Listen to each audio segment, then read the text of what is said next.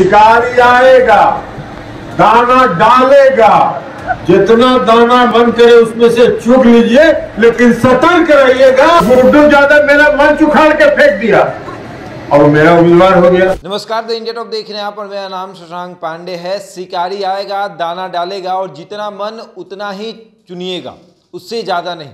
ये बोल है जदयू के राष्ट्रीय अध्यक्ष ललन सिंह की। बता दें कि बिहार में स्थानीय निकाय कोटे से 24 सीटों पर एमएलसी का चुनाव हो रहा है, जिसमें 11 सीटों पर जदयू चुनाव लड़ रही है और जदयू के राष्ट्रीय अध्यक्ष अपने उम्मीदवारों का चुनाव प्रचार कर रहे हैं। इस दौरान वो जमुई में पहुँचे हुए थे, अपने प्रत्याशी का चुनाव प्रचार करने और उन्होंने आरजेडी के उम्मीदवार पर निशाना साधते हुए कहा कि शिकारी आएगा, दाना डालेगा, लेकिन आप उसमें फंसिएगा मत।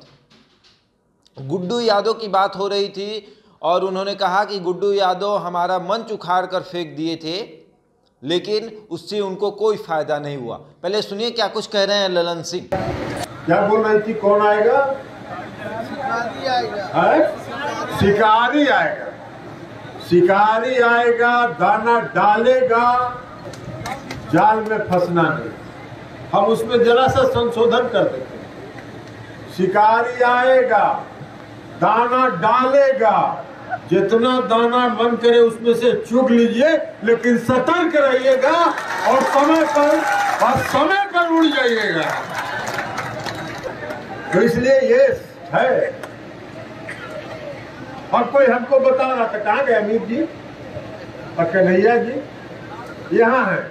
ये कहे कि बड़हिया में कोई गया और बड़हिया में कोई गया और भाषण दिया, कहा कि गुड्डू यादव को उन्होंने खड़ा किया। क्या जी?